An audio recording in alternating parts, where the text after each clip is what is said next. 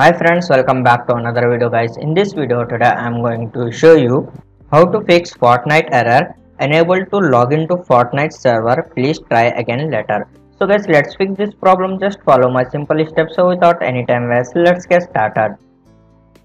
Method number 1.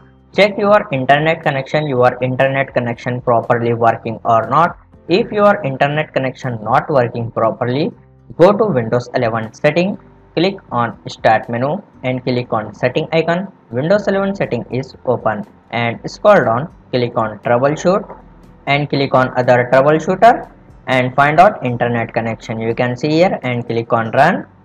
This process will take some time. Please wait until the process is completed. After complete the process close the setting. Left side of the panel you can see here network and internet option is showing. Just click on it and scroll down. Click on advanced network setting and scroll down click on more network adapter option and select the internet connection and right click click on property and select internet protocol version 4 and click on property and select this option use the following DNS server. Preferred DNS server type like this. Alternate DNS server type like this. And click OK and close all settings. Method number 2 open Windows 11 search bar and type Epic Games Launcher right click on epic games launcher and click on run as administrator.